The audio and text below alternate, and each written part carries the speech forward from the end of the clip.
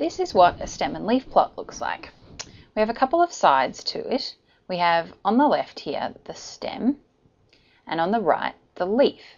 And what this represents is the first part, the stem, the bulk of the number, and over here the leaf, the, the bit that's tacked on. And what I mean by that is, for example, this 1 and then a bar and then 3. So 1 bar 3 represents the number 13. So our stem numbers are the number in the tens column and our leaf numbers are the number in the uh, ones column, if you will. 1 bar 5 means 15. 4 bar 2 means 42.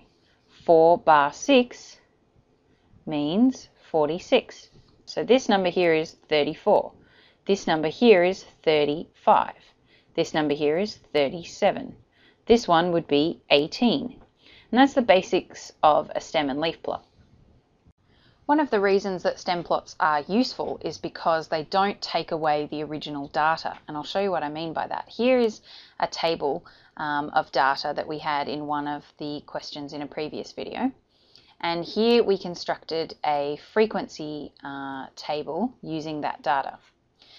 But what's been lost in breaking this down into a frequency table is some of the original information. For example, looking at this, if I just had this frequency table and I didn't have the original data, I said, what was the shortest person in this group?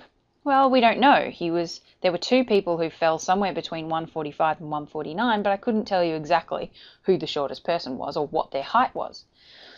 Um, if I said who was the tallest, again, I can't I can't tell you. If I said how many times did the height 167 occur, you couldn't tell me. You know that there were five occurrences somewhere in the range 165 to 169, but I don't know exactly how many times 167 centimeters occurred, for example. And that's where a stem and leaf plot can be quite useful because it preserves the original data, so to speak. So here's that table again, but now I'm going to construct a stem and leaf plot to represent it. Now, in the last example, I used one digit as the stem. I used one, two, three, four. In this example, if I used the first digit, which is just a 1, um, if you notice, all of these data points have 1 as their first digit, so it wouldn't really help me construct much of a stem and leaf plot because there'd only be one stem and then all the leaves would come off that, which wouldn't be very um, helpful, really. So what I'm going to do here instead is take the first two digits of these numbers and make them into my stem. So I've got some 1, 4 numbers, some 1, 5, 1, 6, and up to 1, 8 numbers. So those are going to be my stems. So we have 1, 4, 1, 5, 1, 6, 1, 7, and 1, 8. Now for the leaf part, this one up here, 145, is a 1, 4, and then a 5. So I just need to put the 5 part there as the leaf. This next one, 170, is a 1, 7 and then a 0. So next to the 1, 7 stem, I just put a 0 as the leaf. Same for 160, I go 1, 6 and then a 0. Same for 175, this one here, I have a 1, 7 and then I put a 5. And there's the rest of those that I've now filled out. Now what I've created here is an unordered stem plot. And what it means unordered is just that these leaf parts here, the leaves, they're not in order. 5, 9 happens to be, but this sequence here, 7, 1, 9, 7, 5, 9, that's not in order. For me to arrange those in order from lowest number to highest number, it would go 1, then 5, then 7 and 7, and then 9, 9. So now I'm going to rearrange this stem and leaf plot so that it's ordered because then I can get the information that I want out of it much quicker. So I'll just redraw my stems and now I'm going to put the leaves back in but in order. So this one here is already in order. 5 comes before 9 so that makes sense. 5 and then 9. For this one as I said we go 1 is the lowest number followed by 5 and then we have the two sevens and the two nines. So it goes 1, 5, 7, 7, 9. For the next one here the lowest number is 0 then the next one is 1 etc and there it is completed. Now what I have here is an ordered stem plot because the numbers of the leaves are in order. And I can gather some information really quickly about uh, my data looking at this ordered stem plot.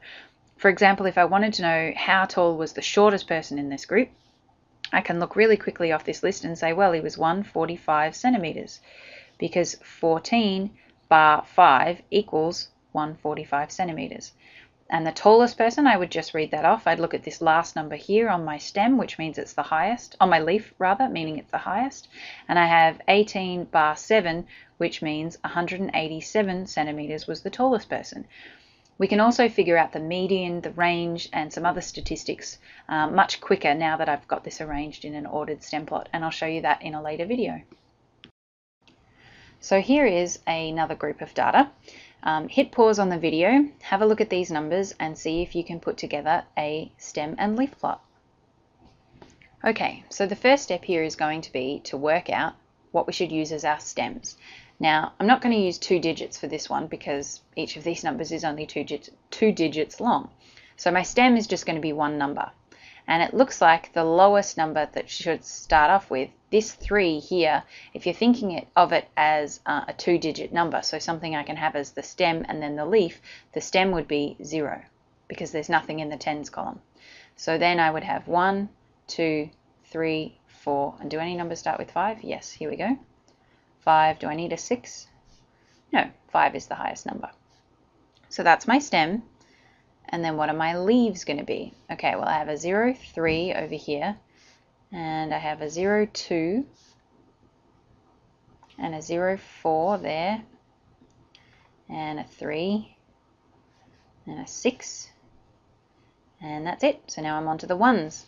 I've got a 1, 7 there and a 1, 9 there, another 1, 7 and that's it. So I'm on to the twos. I've got a 2, 8 there and a 2, 4 and another 2, 4, and that's it. On to the threes. There's a 3, 5, 3, 1, a 2, and a 3, and another 1, and a 2, 6, and a 3, and a 1, and so on and there it is completed. And the reason I crossed off these numbers as I went is because when I get to the end, I might notice that I've missed something off. So here I've missed the last one, which is a 5, 4, so I'll put that back on. But I've also missed this, which was early on, which is a 1, 6. So I can just put that on there because I haven't put this in order yet, this stem plot. So now that I've crossed that off, I can double check that I put every number in my stem and leaf plot. And the next step is to put it in order. So these numbers here, 3, 2, 4, 3, 6, how do they go in order? It's going to be 2, 3, 3, 4, 6. So 2, 3, 3, 4, 6. These ones here, 7, 9, 7, 6. In order, they are 6, 7, 7, 9. 8, 4, 4 will go 4, 4, 8. These ones here, and there that is completed. Now I will just note too, these should line up, but I've smushed some of these ones together because we're getting very close to the edge of the screen here. So the 2, 6, 4, 1, 0, 4 should all be in a line. And then the next one along, 3, 7, 4, I really should have aligned this one over here and lining up with the 2 and the 8, etc. so that there are evenly, evenly spaced numbers going along the line. But just for the sake of getting it all into the screen here, my freehand is, is not perfectly aligned. And the last step is to put a legend. So something like 1 bar 6 equals 16 or uh, 5 bar 4 equals 54. Something that will uh, show the reader how to interpret your stem and leaf. Um, and if there was some sort of units on the data, for example, if this was centimeters or if it was, you know, uh, meters squared, something like that, you would put the units on here as well as part of your legend. Um, but our data was just numbers, so we don't need to put anything for this one. Sometimes you'll see a back-to-back -back stem plot, which is just like any other stem plot, except we have two pieces of data going out either side. And this is what I mean. Here we have uh, two students, math students, and the results that they got on a series of weekly tests, for example. So Fred scored 77 this week, and the same week Sarah scored 97. In the second week, he scored 76 and she scored 96, etc., etc. So, what are my stems going to be? Well, it looks like the lowest number is a 6 and the highest number is a 9. So I'm going to put that in the middle as my stem 6, 7, 8, 9. And I'm going to put a bar on either side, a line on either side, because what I'm going to do is have Fred's numbers coming out this way and Sarah's numbers coming out this way. And you could reverse those, it doesn't matter which side they're on. So, Fred, did he have anything that started with a 6? Well, there was a 68, and there was a, another 68, and a 63. What about the 7s? We had a 77, a 76, 78, 74, 72, and that's it. And then there was an 81 and an 82. And nothing in the nines. So we just leave that blank. If you have in a stem plot um, no particular occurrences for a particular um, stem, you just don't put any leaves for that line. Leaves, I should say. And co okay, so Sarah's results. She had a 97, a 96, an 87, a 66, 93, 68, 82, 90, so 90, 84, and 83. So this is exactly the same as the stem plot which goes in this direction, except that I've drawn the leaf parts going out this way. Now this at the moment is unordered. The final step of this would be of course to put these in order. So this would say 388 and this line here would say 2, 4, 6, 7, 8 and this one is already in order but this line here coming out from the bar going that way this line here for example would say 2 and then 3 and then 4 and then 7 because what you want to put closest to the stem is the lowest number. So this would be how I would order the 8 line. And again for the 9 line, rather than putting them in order from left to right, you put them in order from the stem going away. So this here would be the 0 closest, and then the 3, and then the 6, and then the 7. And one last thing you should always add to a stem plot if you've been asked to draw one is a legend. So just something that says, you know, 7 bar 7 equals 77 um, or any of these numbers. So 6 bar 8 equals 68, just so that um, someone reading it can interpret your stem plot.